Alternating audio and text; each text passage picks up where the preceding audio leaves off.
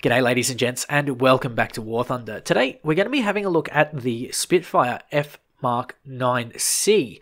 This plane is a rare event plane that you got from a deathmatch tournament back in 2016 and uh, basically if you killed I think it was like 40 people then you got this uh, plane. For me, this was one of the most stressful event planes to acquire. It just took way too much energy. Uh, was it worth it in the end? Probably not, but at the end of the day, we have ourselves a rare Spitfire, and to be honest, nothing really beats a rare Spitfire. So, was it worth the pain? Well, we'll have to kind of watch and see. Recently, the Hispano cannons were given a bit of a buff, so I did want to try them out and uh, give it a little bit of a whirl. To be honest, I'm not entirely sure if they are buffed or if it's just the way that I'm playing that makes them a little bit powerful, but the Hispanos do lack a couple of very specific things.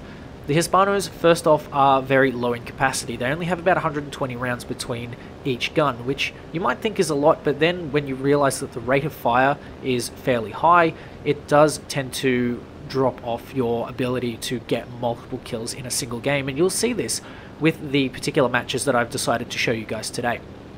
So, the Spitfire Mark 9C is essentially just a Mark 9 Spitfire with four 20mm cannons, giving it a fair bit of firepower, but of course at the cost of ammunition capacity and a little bit of weight.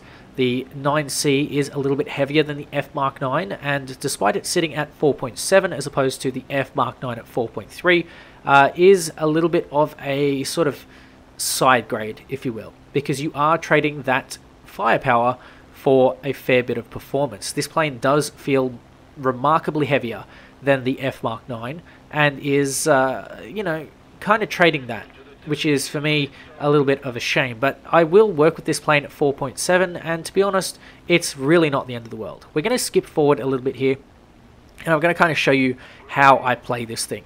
This is one of the planes where I try and jockey for altitude. I try and get above my opponents, but I also have to remember that you are a, a turn fighter. So if you're going to be turn fighting your opponents, you need to have altitude because this particular plane does not uh, fly very fast and its energy retention in turns, dives, and uh, climbs isn't exactly the best. It doesn't quite keep its speed as uh, maybe a Focke-Wulf 190 is.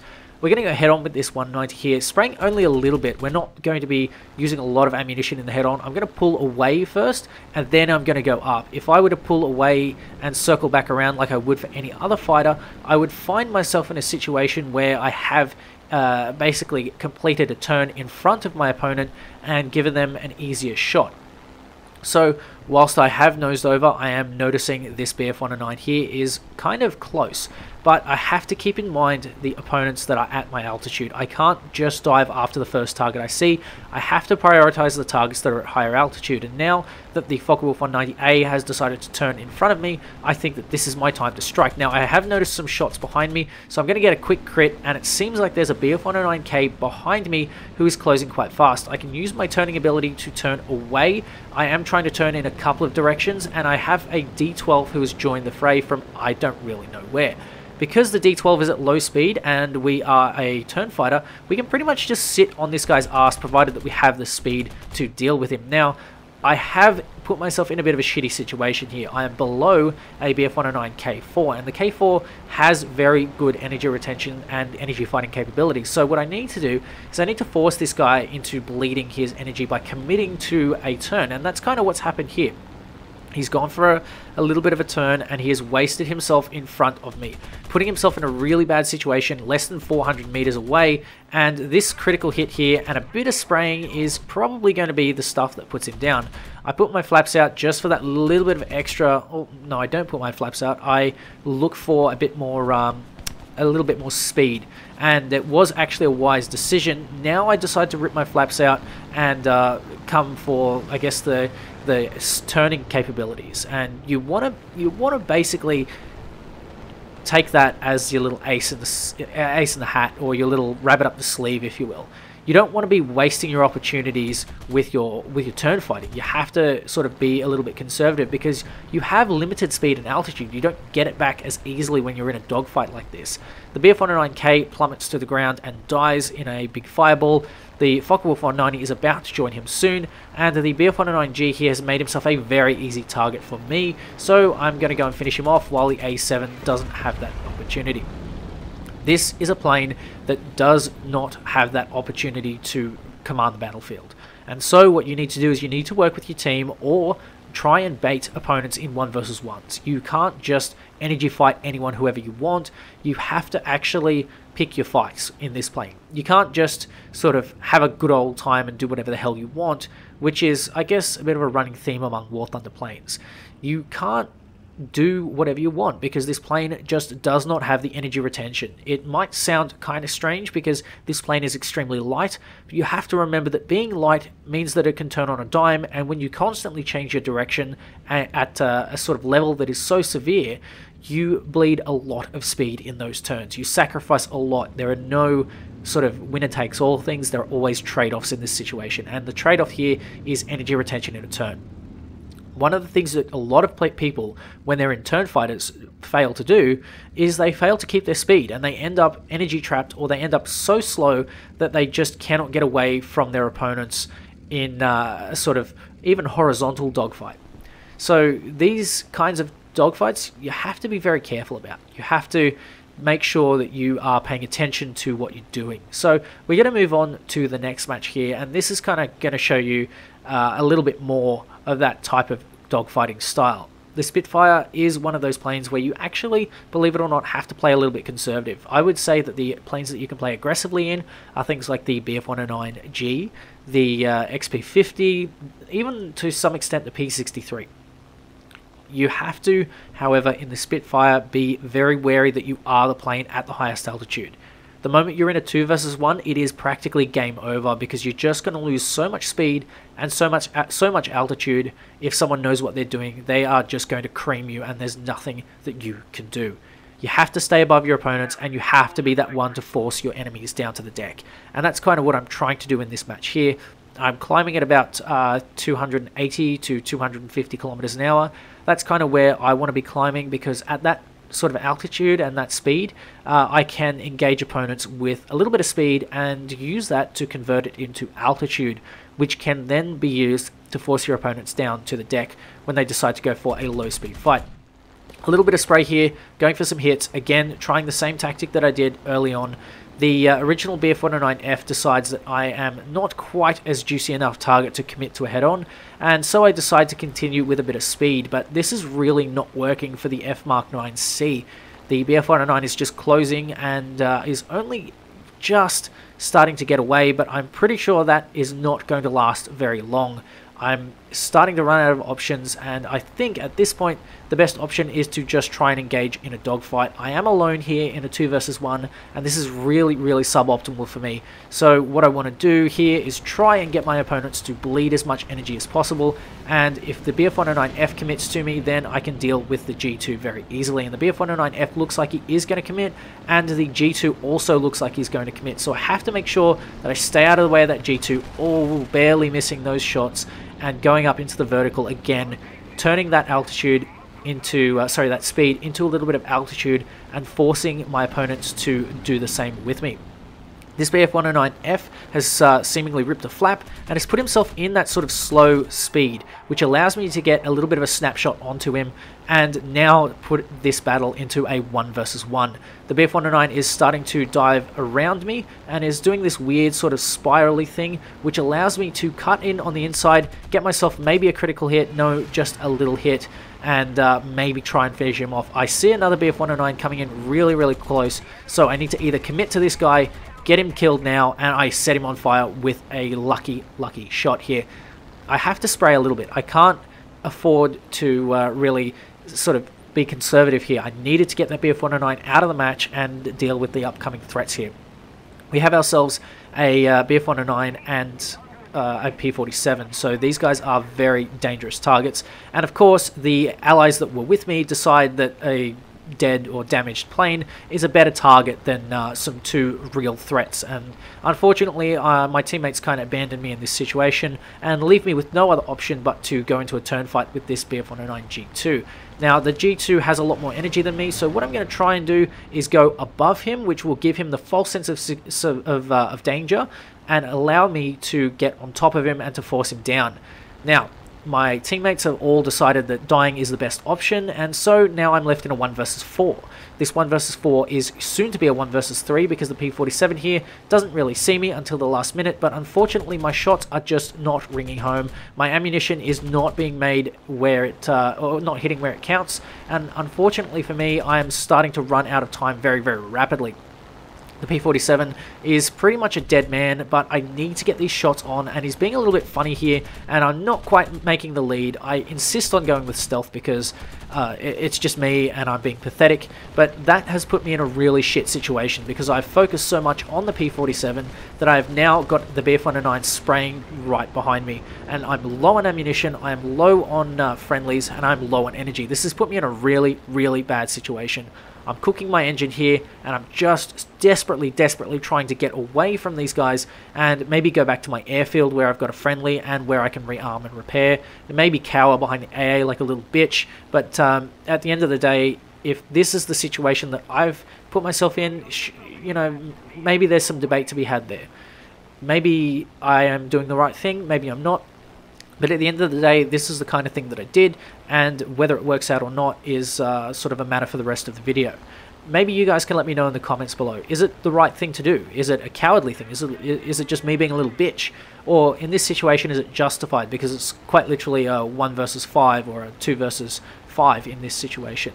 This BF-109G really, really wants my booty, so what I'm trying to do is lure him in nice and close and then pull severe maneuvers, but unfortunately it's just not working for me because I'm too slow and I don't have the altitude, I don't have the energy, and now I've taken so many beatings that I'm missing an elevator, and uh, it's really, really looking desperate for me. I've put myself in a shit situation here. So I need to just book it for the airfield and hope to God that the AA does something, or at least a teammate does something. This XP50 could be coming down and giving me a hand, maybe.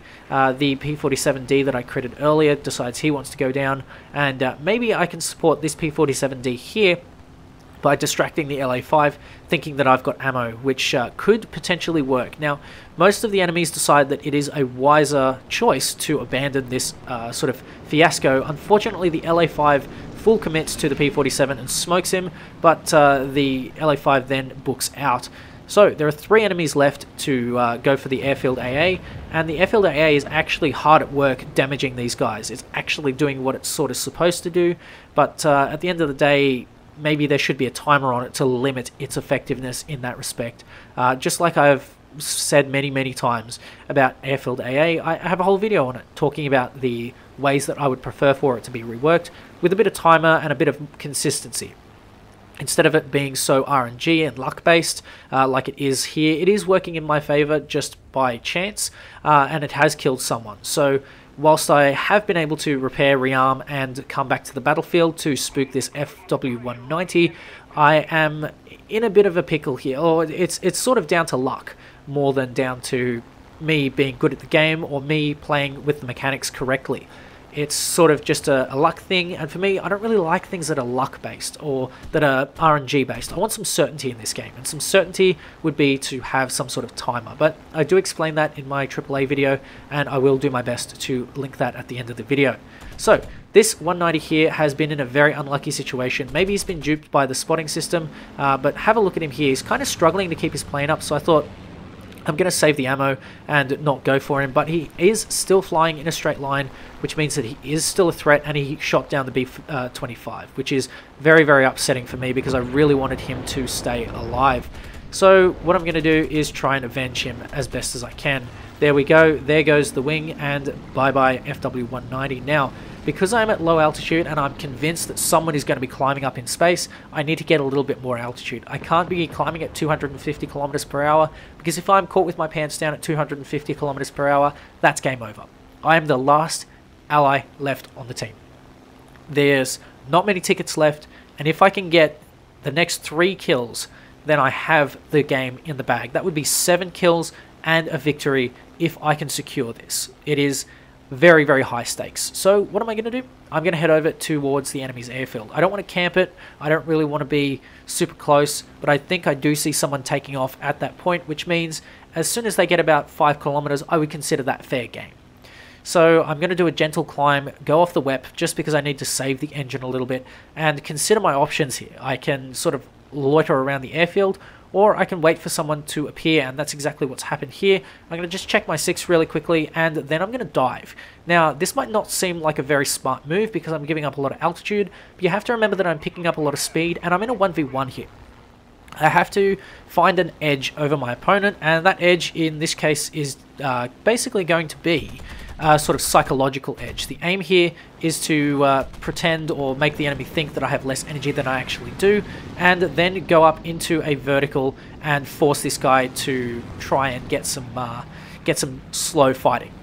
Once I've done that, I can just pop out my flaps and I can sit around for until this BF-109 comes back in and I come ever so close to shooting him down in a single shot, but unfortunately only get the rudder and uh, I'm, I'm just desperately trying to nuke this guy to try and finish him off and to get onto the BF-109. So I go for some brief shots here, some more brief shots. He's very, very wobbly, you can see. And just as this BF-109 comes in, I have no other choice but to engage him. Going for a quick head-on, a little bit dodgy, and then I decide that I'm going to recommit to the head-on because he's like gone away from the head-on, and that leaves me with just the LA5 to deal with, who has no rudder and is very low on speed and energy. This could be it. I just need to land my 93 shots of ammunition, which should be a piece of cake, and boom. There we go, 6 kills. 1 kill left. And this is what the Spitfire is built for. It is built for these engagements where you have 1 versus 1s, or you have enemies that are on low energy. But you need to get to that stage where your opponents have low energy. So make sure you grab your altitude, make sure you force your opponents down, make sure you have plenty of speed. If the turn fighter plays boom and zoom, he can play turn fighter later on in the match when his opponents cannot play boom and zoom. This is the kind of dogfighting, the kind of fights that the Spitfire needs to involve itself in. Otherwise, you're just going to be playing your opponent's game, and you're just going to be ending up on the losing side every single time. The times where I've died in the Spitfire 9C is are the times where I have tried to play turn fighter at high altitude, while the enemies have been able to play boom and zoom and energy fighting. So you need to make sure that every time you play this plane, treat it as a boom and zoomer until you get the altitude edge on your opponents. Then you treat it like a turn fighter. I see this mistake so often, and this is why the Spitfire is supposedly hard to play. It's hard to play because it doesn't have the ammunition capacity. You can see I've gotten three kills and I have barely any ammunition left. I am starting to get really low and of course the last opponent is a bomber. So I need that ammunition for bombers. I've found this ammunition to be woefully ineffective against bombers. Um, this might be me, this might be just the ping that I'm flying at, but I have not found the Hispanos to be much better than they were previously. It could just be that I'm running stealth belts because I'm a I'm a stubborn bastard wanting to run stealth. But it could also be that I have high ping. It could also be that I am just shit with my ammunition. It could just be that maybe Gaijin hasn't fixed it, or there could be some other issues that uh, client side or server side or on my side, whatever, are just not coming through. Either way, you can't play this plane like it has infinite ammo. Either way, you only have 120 rounds per gun, which is not much. And whilst you can get those really intense shots where you just eliminate your opponent without any shred of, of them ever existing, you just sort of click and they're gone. These types of planes need you to be conservative with your ammunition. Fire in short bursts, only fire when your opponent is either slow or definitely in your crosshairs, and uh, there we go. You might just lose a 6 kill game. God, the Spitfire is one damn hell of a plane. But I tell you what, it's not foolproof, and the German bombers will sometimes get the better of you. So ladies and gents, thank you very much for watching today's video. I hope you enjoyed it. I hope you found something maybe insightful, maybe something fun. Let me know in the comments section below. Let me know what you think, and of course, we will uh, have some more videos coming soon. War Thunder's been in a bit of a bit of a weird downturn, so I've sort of held off a little bit, been a bit hesitant to make a bit of content just because it's not getting nearly as many views as it was maybe a month ago. So thank you guys for sticking with me. Thank you guys for continuously watching and feeding the algorithm. That really means a lot to me. And uh, I hope to maybe be on track in a little bit. I just want to let you guys know that uh, I have something on the way that involves, there we go, this. This is uh, potentially something very exciting. So do stay tuned. And of course, I will have more information on this as soon as I can bring it forward. But um, for those of you that, uh, you know, maybe taking a guess. Let me know what you think might be happening in the comment section below. But uh, if you'd like to pick up some merch, this might be available very, very soon. Uh, but I do have some other stuff that is also available at the moment. If you would like to support the channel monetarily, you can always do that through Patreon and uh, Air Models. Air Models are brilliant, honestly. I have a couple of them sitting over that way, um, and they're they're really, really good, honestly. If you want some die-cast static models, then these guys are pretty much the best way to do it internationally. Um, I found that they have the same prices here in Australia, at least locally, uh, compared to physical shops. Um, that, that includes like shipping and the item itself. So for me, I found these pretty cheap. Uh, in other countries, maybe not so much. But uh, if you are from like Australia or if you're from a country where these types of models are quite expensive in uh, physical stores, this is actually not a bad option to support the channel as well as getting some pretty cool stuff. So thank you guys for doing that and thank you guys for feeding the algorithm. I sincerely appreciate it. So ladies and gentlemen, that'll be it for today. I'll catch you in the next one. Take care and I'll catch you next